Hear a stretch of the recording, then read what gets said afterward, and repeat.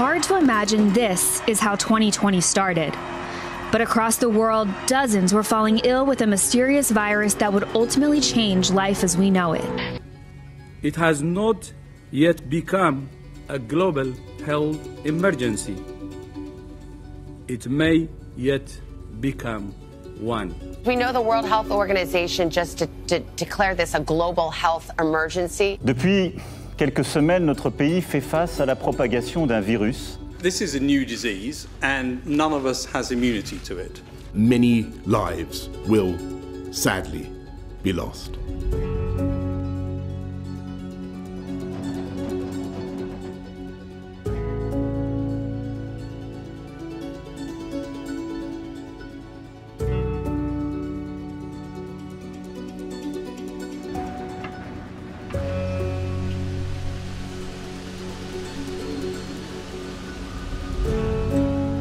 Agree that this past year has been pretty tough and challenging.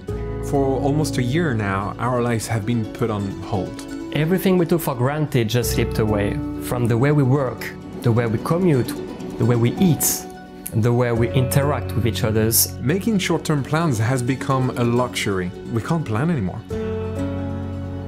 A day looks like the next, and we're all forced into this monotony. And finding purpose in this global mess has been very hard and such a big trigger for anxieties, depression, and, and mental health issues. And of course, the topic of global health has never been so intense. Stay at home, protect our NHS, and save lives. We will immediately close all shops selling non essential goods and will stop all social events. We have realized how people's underlying health issues can put them at higher risk than others. 1.7 billion people live with underlying health issues that put them at a much higher risk of contracting severe symptoms of the COVID 19. For weeks now, Paris's main landmarks have been quiet, but still the number of deaths from coronavirus continued to rise. This virus is a brutal reminder of the current state of the world's global health. The 10 main causes of death in the world are all health issues. Studies and research rank the side effects of prescribed drugs as a very important cause of death in the world.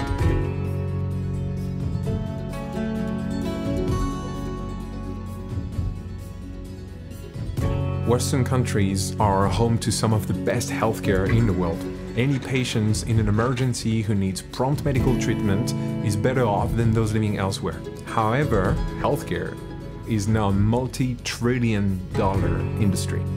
The mainstream medicine of today is based on treating patients who are ill with expensive drugs, radiation, and operation. And the offshoot of those treatments are side effects that have a huge negative impact on our body's defenses, but we haven't considered the bigger picture. The importance of looking after ourselves. Finding ways to be naturally less at risk and working on bettering and improving our own immune system. All of this really questions the limits of Western medicine when it comes to prevention. And we can't help but wonder how much have we been indoctrinated into forgetting that there are actually other alternatives out there. You will be amazed to see what we've discovered. And that maybe we might have more control on our health than we're led to believe.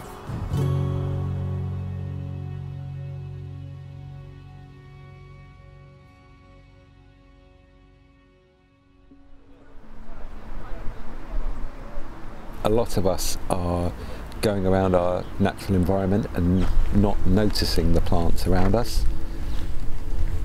And that sort of suggests that we've kind of lost touch with nature. There's a lot of reasons for it, you know, urbanization, the way that healthcare has evolved in Western societies, it's tended to sort of play down the importance of plants, even when they're actually the source of a lot of the medicines that we use. So, for example, cancer drugs, you're looking at over half of those would have originally been inspired by natural products. We would estimate that around 80% of the global population use natural medicines as their main source of medicines.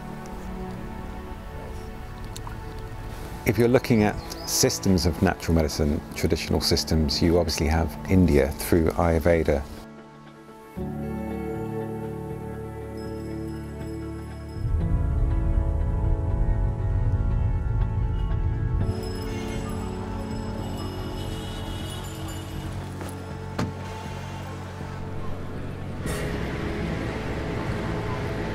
Ayurveda is a term which comes from the Sanskrit Ayus and Veda, and it means knowledge of long life. And this is achieved through essentially a harmony between the mind, body, and soul. It's a life philosophy.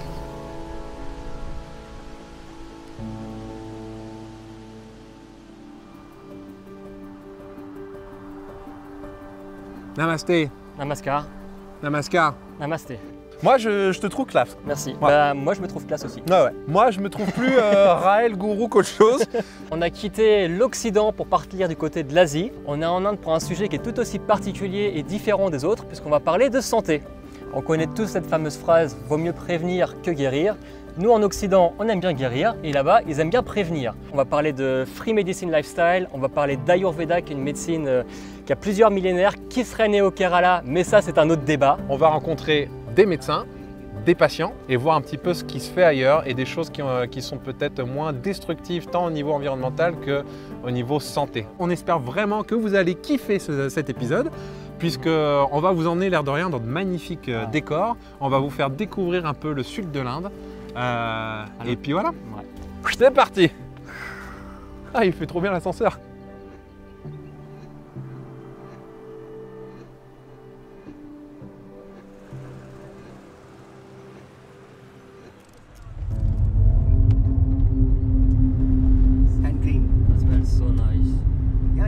spent 30 years in corporate world.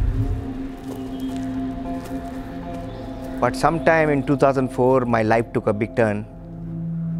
My wife was diagnosed with cancer. And we did what best we could do in those days. I took her for treatment to US, UK, Australia, Canada. I spent a million dollars for her treatment. But somehow that we lost her. That came out to be a very turning point in my life. Those days I was uh, taking medicines for diabetes, blood pressure, high cholesterol. I was obese. I had 98 kilo of weight. So I decided from that time onwards, I will not take medicine. I'll come out of all my medicines as early as possible. I didn't touch any form of medicine in last 10 years. And 2010, I came out of diabetes completely, uh, blood pressure, high cholesterol, and I lost about 31 kilo of weight. I came to conclusion that all the health issues has root in your mind. It's way you think, way you behave, way you live life. It has direct impact on your health.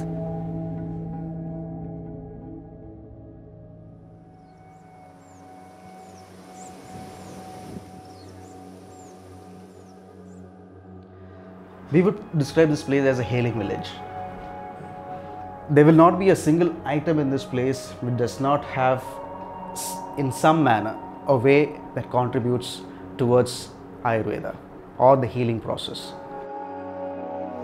Here we have one physician, physician's home, and three patient blocks right next to the physician's home so that the physician can look after these 12 patient units or patients as his own family.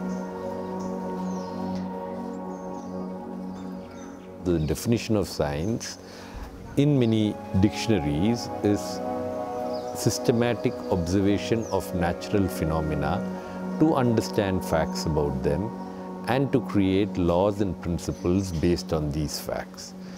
That definition fits Ayurveda perfectly. But in modern science, we added further attributes like it should be laboratory tested, it should be animal tested. We started reducing the knowledge of nature into a petri dish, into a beaker, to be viewed under a microscope. Gradually, people have moved from being holistic to becoming reductionist. The practice of medicine has changed. I was running a medium-sized hospital for almost 25 years and at one point of time in my life I started seeing the failure in my logic, the failure of my science. Allopathy is very good in emergency services.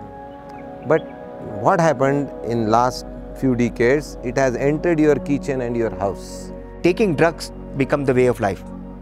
Today you go to any doctor, you come out with a prescription outside. You take two, three, four, five medicines. Total allopathy philosophy is based on suppression. We want to fire antibiotics every now and then. People are overburdened with Western medicines. Like even if you have a slight headache or even if you sneeze or you cough, you just go and pop a pill, which has tremendous side effects on your body.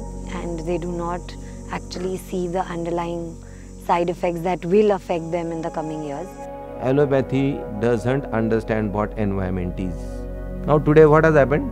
Super specialization. Today, the doctor who works with your eyes does not see your nose, and the doctor who sees your nose does not see your mouth. They don't see the connection between the three. I mean, I may be pushing a little far, but generally, I don't see you as a composite whole and understand that an aggravation or an inflammation in one part of the body can have its uh, manifestation in another part of the body. So what we have done in allopathy, we have broken the human body in spare parts. We don't work in spare parts. And because of that, people are now concerned and they're looking at holistic or alternate way of looking. In May 2015, I got diagnosed with, uh, you know, lymphatic tuberculosis and the interesting part with the allopathic test and everything is like it looks like TB but it is not TB.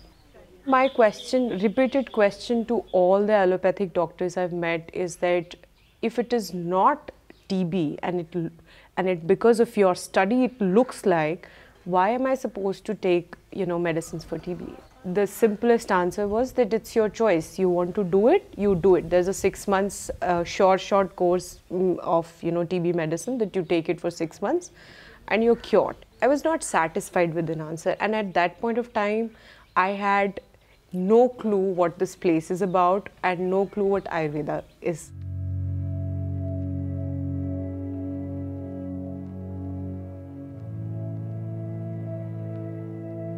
Ayurveda is the knowledge of life and longevity, perhaps the oldest existing body of knowledge on the healing process.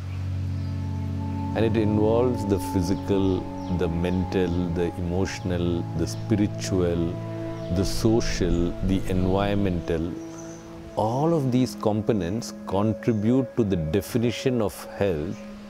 It is a way of life. Whatever we do in our life, that has some effect on our health, whether it is good or bad. In Ayurveda, we study human body with a different way of uh, looking at it. We work on doshas like Vata, Pitta and Kapha. Three elements which is controlling our body, we can tell like that. Something similar to air, fire and water. These are the biological humors of the body which are the foundational things. When these three are in equilibrium, there is no diseases. When there is an imbalance in these three doshas, that causes some diseases related to uh, that dosha. If any of the imbalance dosha is there, what we do is food and regimens are given and as a result it, it gets balanced. The majority of the people are the ones who have gone through the allopathy or the western medicines and have not found maybe satisfactory results and have come here. And yes, uh, there have been cases of people with cancer who've gone through chemo and then have come here. 14 months ago, I had a diagnosis of bilateral breast cancer, which was a bit of a shock because I thought I was the healthiest 70 year old on the planet at the time. Whenever a cancer gets manifested, The tumor is there, so we have to either do chemotherapy, we have to excise it, do the surgery, but they all begin from the point where the tumor has manifested. Nobody thinks why this tumor has happened to your body.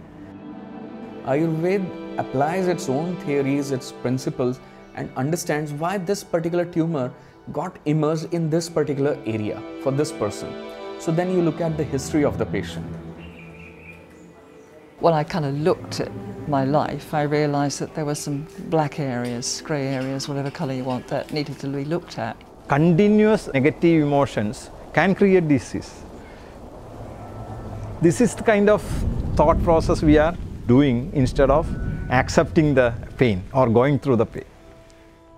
One aspect which determines the, uh, the speed in which the healing process can happen to them is their acceptance inside. The problem, the solution, everything is within yourself. And you'll find it only if you start looking within yourself first. So when I heard this diagnosis, my immediate reaction was yes, shock, absolute shock.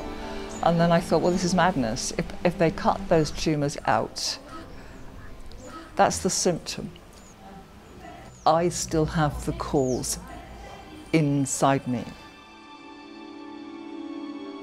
If a tap is open, the water is flowing, and you have a mop uh, in your hand, you just keep mopping. But the best solution is to just turn off the uh, tap and then the water will stop. So I need to go for the cause, remove the cause, and then my body, which has got an innate healing ability, the body has, is hardwired to heal itself if we give it the right environment. So I need to make, put my body back to being the right environment to create self-healing. And that's what I set about doing. Uh, the doctors here said if it's not TB, then why you why you have to take a TB medicine and you know we can treat it because it's basically an immunity issue we can improve your general health then you know this infection can just go away then after 21 days we just made a you know short short plan that we're going to stay here for 6 months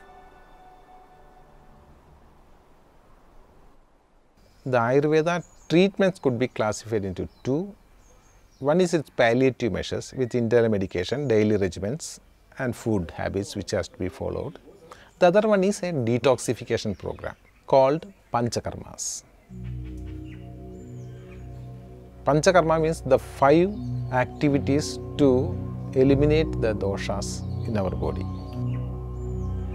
They are induced vomiting, purgation, two kinds of enemas and nasal drops. These are the five major procedures used to detoxify our body. It is not as easy as I mentioned. It has got different phases of treatment. First stage is snehanam, that is oleation. We have to make the body unctuous, oily or internal oleation, intake of oil. So here what we are going to do is Abhyanga Abhyanga is the Ayurveda treatment where the medicated oil is gently massaged all over the body. For a massage, we take around 200 ml of oil on a, on a gentle massage. And these oils are highly medicated. Sometimes some oils contain 50, 60 herbs in that. The important part is to transfer the properties of this oil into the body through this process. This is what happening with an Ayurvedic Abhyanga or Ayurvedic massage. So we give more important for the oil. There are hundreds of oil from where which we have to choose one or, or the most appropriate oil for this particular condition. Il a dit, il a dit qu'il fallait se concentrer sur ses battements de son cœur et euh, sur la. Ah bah je suis complètement nul. Euh, sur euh, sur les battements de son cœur et de la respiration. Euh, moi, je le fais très mal parce qu'il ne faut pas parler du tout dans la session. Il faut être en communion avec le thérapeute et écouter vachement son corps. J'attends de voir demain matin les effets comme ça de l'huile, mais je pense que ça va faire un bien fou quand même.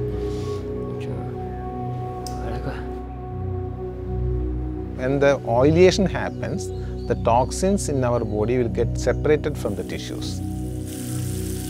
Then we have to heat the body. That is called swedanam, sudation. When we heat the body, as a result of the heat, the toxins gets dislodged from its from its uh, uh, actual position, and it will be moving into the intestine. Then these accumulated toxins are eliminated with the help of induced uh, vomiting, purgation, vasti, etc. After the major procedure, there is a rehabilitation procedures with the different kinds of food habits and medication, which is absolutely necessary.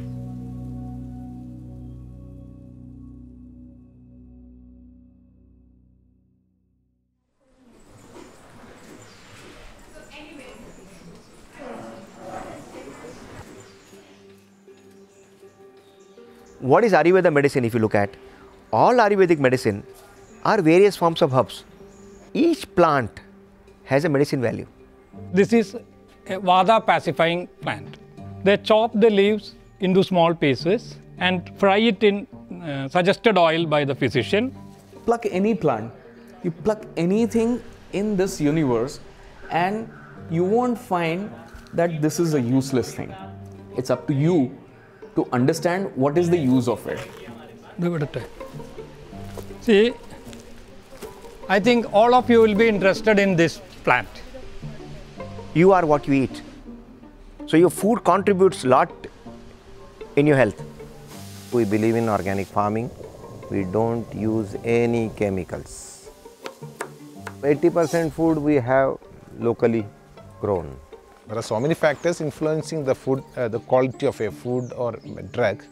That is rasa, the taste, guna, the properties, virya, potency, vipakam, that is after digestion what happens to it, and prabhavam, some special properties. These are the five factors influencing uh, the property of a uh, medicine, drug or herb which we take internally or externally.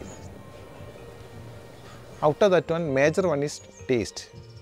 For easy to understand the taste, there are six tastes told. Sweet, sour, salt, astringent, pungent and bitter. And also for each season, our regimens are different. The misconception people have is about fats. They are scared of fats like anything. No, fats are bad, fats are bad. Here we eat lots of fats, but it has to be a non-processed, good quality fats. We Indians used to run our body on fat. The natural fats are good fats. So hydrogenation, trans fat, refining, everything makes fat the bad fat. It has to be in the natural form.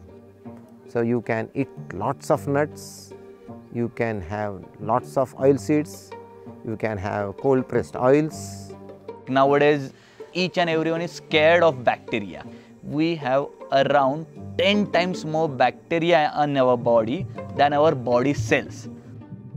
Their weight is around 2 to 2.5 kg, kilograms. So it's as good as one organ which is working for you. That bacteria flora is one major part of your immunity as well. They protect your body. So adding good quality of bacteria is very important. All the fermented food are prebiotic, good bacteria. That is one major change. You will see kefir, milk kefir, fruit kefir, kombucha, curd in each and every meal over here.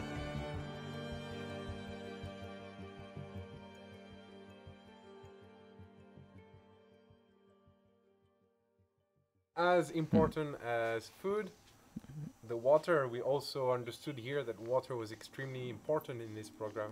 Okay. you are supposed to drink plenty of water.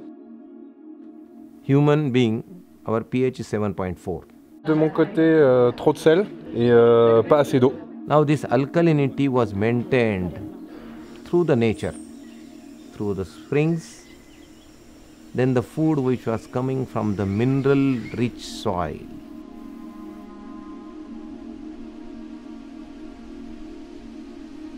When water flows underneath your ground, it is charged water.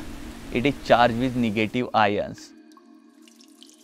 All the minerals available in your ground, they are mixed in that water and then you drink that mineral rich ionized water. So these minerals are used by your body at almost each and every place. But nowadays because of dams, because we have covered all the ground with tar and cement, water practically doesn't go below the earth surface. And then from dam through pipeline to your home that also with added chlorine or fluorine some substance to again kill bacteria.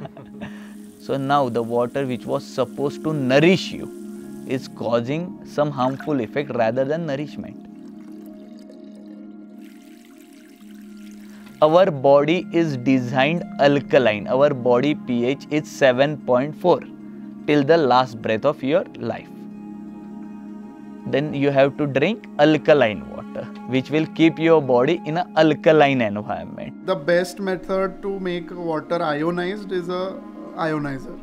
So there are two electrodes, one is a positive and a negative electrode, and it is used to electro eh, for electrolysis of the water and the minerals which are in the water naturally. This is for acidic water, and the bigger jar is for alkaline water. The negative electrode actually attracts all the alkaline minerals like calcium, magnesium, iron, potassium, which makes it very antioxidant rich. Lots and lots of minerals are shifted towards the alkaline side, and the acidic things like chlorine, fluorine are removed. So we are actually making spring water with the simple ionizer. Ça là, c'est devenu euh, notre meilleur ami. Ils nous ont dit euh, entre 3 et 4 litres de flotte. Donc ça fait combien de ça là Voilà. 8. Voilà, donc on va faire 8 pains, donc on fait des allers-retours constamment. Et pour pas que notre piste soit toute jaune, hein, d'abord, parce qu'on va. Parce que c'est bambou the simplest thing that uh, we do in uh, medicine free life is uh, Shivambu to uh, help your immunity get to a better level, which is basically drinking your u- own urine.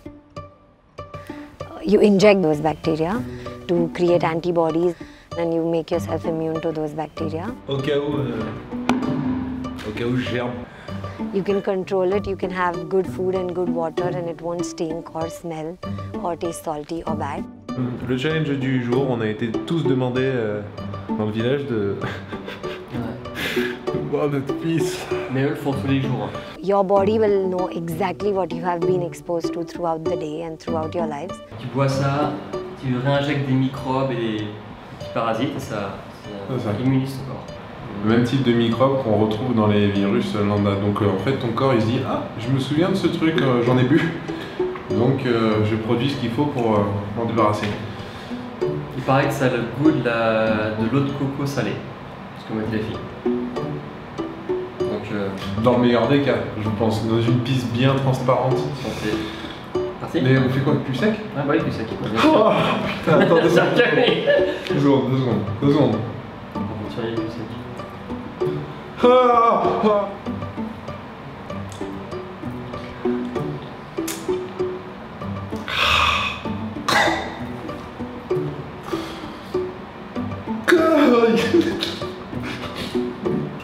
De prendre de l'eau derrière. Effectivement, ça a le goût salé, c'est salé. Effectivement. T'es le mec le plus le chiant du monde quoi. Tu viens de boire ta pisse, genre effectivement. Bah quoi Euh, C'est un peu salé. Bah grave. J'ai bu des trucs plus dégueulasses que ça. Genre, t'as bu des trucs plus dégueulasses que de la pisse? Ouais. Bah, il y a des co- bah franchement, le morito qu'on a. Non, pas le morito, le Bloody Mary qu'on a bu. À San aux Francisco États-Unis, ouais. Pour moi, c'est plus dégueulasse que ça. Mais franchement, allez voir juste sur YouTube par curiosité l'urinothérapie et allez voir les vertus que l'urine a. Qu'est-ce que t'as vu Le plus vieux médicament du monde? Ouais. Bon, Allez voir, hein. Qu'on a envie de. Putain, je te jure, j'ai l'impression de puer de la gueule. C'est franchement pas terrible, mais ceci dit, ça pointe un, un fait quand même euh, euh, non euh, négligeable qui est que euh, je bois pas assez d'eau quoi. Ouais, mais c'est le matin, c'est la piste du matin. On m'a dit hier que la bière c'était pas considéré comme de l'eau. Alors là, vous imaginez le choc. Bref, il est 6h du matin et là on va faire du, du yoga en haut de la colline.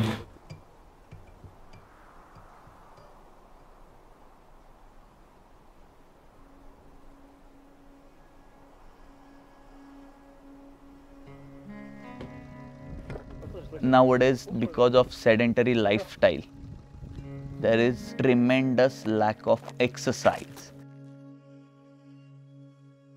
This body is designed not only to walk but to run to climb to bend to be flexible to be muscular. So that exercise part is very important to incorporate and so we they go through interval intensive training that is cardio they go through strength training they go to flexibility training that is yoga so all of that and they learn how to incorporate all of this in their, daily routine quite easily I want to encourage people to live a very healthy lifestyle. It's not really difficult. Even as a patient, when you go to a doctor, you should always question why. I have got diabetes, why? I've got blood pressure, why? Till you don't address the root cause, you are going to be on lifelong medication. I advocate this. I say this to my patients. If they don't question me why I have got fever or why I have got diabetes, I make them ask, Do you know why this has happened? When I did my first consultation here, I could just feel the, that you know no doctor have ever spoken to me like this. In terms of individualized healing when you come here, and the amount of attention is being given to each case, you know where the patient is looked after and you know seen day to night and being observed throughout days and you know for number of period. The patient was given care either in the physician's home or in the patient's home, where you are surrounded by people who care for you. Everyone here does everything lovingly. They're smiling and wonderful and friendly and fantastic, and you just feel that love coming from them. The doctors are doctors, and yet you, know, you can really talk to them. It's a world away from medicine in the UK when you've got 10 minutes, and if you're lucky, you're out the door.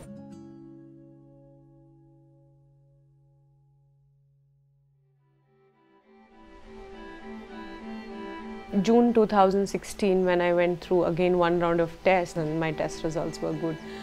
I could see myself being cured and I said, how can I help and you know how can I give it back? We have had many of the patients who want to come back and settle here and they want to participate in the activities over here. So we have started a project where there is housing for those people who want to uh, work in the community. It gave me a sense of satisfaction and a sen sense of completion. How I want to live my life, you know. The question has changed over the period of time, yeah. He's been an allopath surgeon for 30 years. To say that everything that I've learned till date is wrong is a very courageous thing to do and I've not seen very many doctors do it. We want to show some alternatives to the people. You can live very pretty decent life without raping the nature. Use the science in positive way also. You can't treat a human body in isolation. You, you have to treat it wholesome. Mind, body and soul. I've known three people in the last three to four years, young enough to be my children and younger, who've all had cancer, who've all had all the treatment, who then had the second cancer, had all the treatment, and none of them are here now. None of them. I believe that natural medicine and Western medicine can exist together and complement one another. Three weeks ago, I had a scan, and guess what? The scan showed a reduction in the tumours, no spread, no lymph, so none of the threats, nothing's happened. People on the first, second, third, fourth day, they see and they understand. I feel unbelievably different. I'm back to feeling myself, and I'm here, and I couldn't be in a better place. I didn't look upon cancer as an enemy or a curse. I've never been afraid of it. I saw this as a, a gift, like a kick up the backside, if you like, to get out, to go and do something. Be intuitive, stay in touch with yourself, being consistent and give that commitment to yourself. Because if you believe in that what you're doing, it's really going to work for you. So yeah, mm, yeah.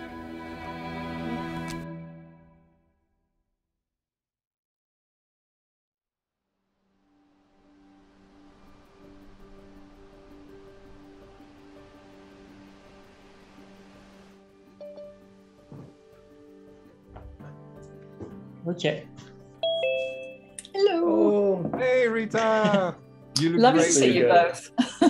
Lovely to see you, Rita. See you, Rita. Okay. Well, Rita, first of all, but let's let's start simple. But generally, like, how are you? How are you doing? Well, given that we've just had a year of being virtually prisoners in our own homes, um, I'm pretty good, I'd say.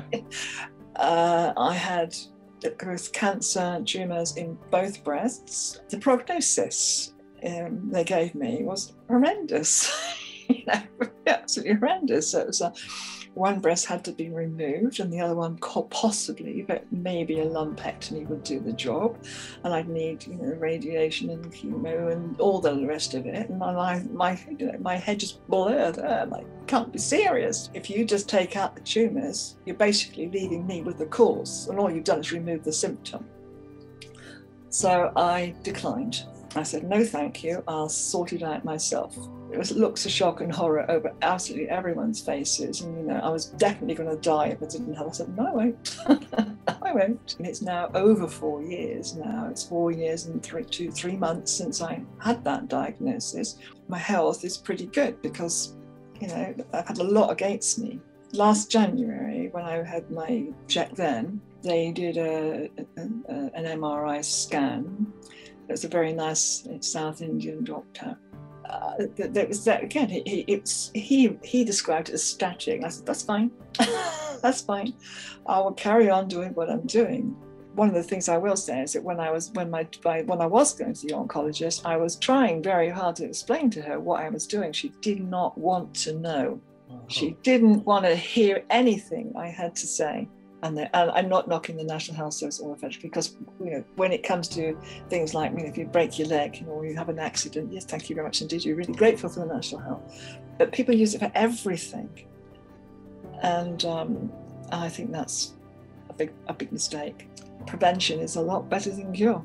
We're much more powerful as beings than, than we than we've ever been led to believe.